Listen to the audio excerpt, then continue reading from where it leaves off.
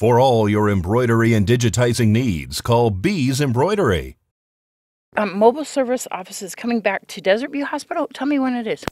It'll be this Friday, and they will be there from 9 in the morning until 3 in the afternoon at Desert View Hospital. And so we're lucky enough to get them back pretty quickly, right?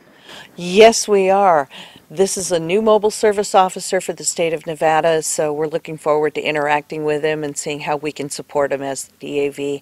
He's also going to be out in Tonopah the following Friday at Scolari's. And uh, Chapter 15 will also be there. We're going to try and do a recruiting drive